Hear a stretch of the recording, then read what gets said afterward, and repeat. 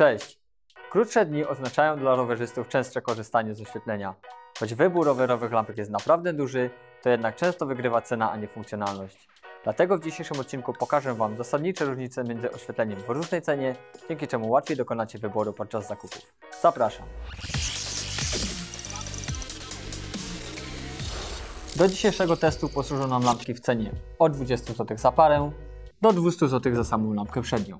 Lampki przednie dzielimy na doświetlające i oświetlające. Lampki doświetlające, inaczej safety light, posłużą nam, kiedy chcemy być widoczni na drodze przez innych użytkowników. Jednak jeśli chcemy jeździć nocą i mieć przed sobą dobrą widoczność, to taka lampka już się nie sprawdzi, gdyż emituje zbyt mało światła. Wtedy lepiej wybrać lampki oświetlające, które świecą znacznie mocniej.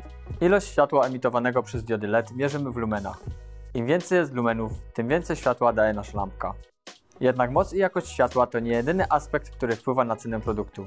Rodzaj zasilania, pojemność baterii, jak również dodatkowe opcje będą miały na to wpływ.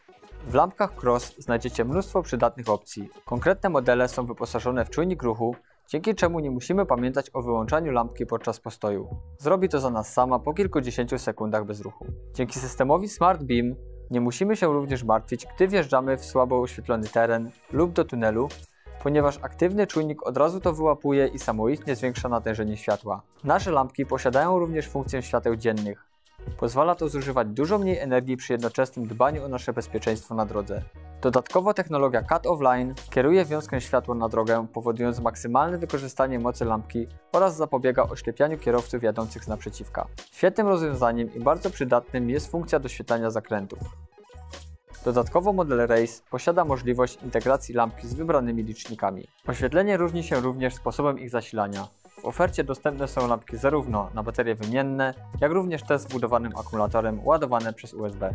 Oświetlenie możemy montować na różne sposoby, dzięki czemu znajdziemy to najlepsze dla siebie. Przednią lampkę możemy zamontować na kierownicy, na mostku lub na widelcu.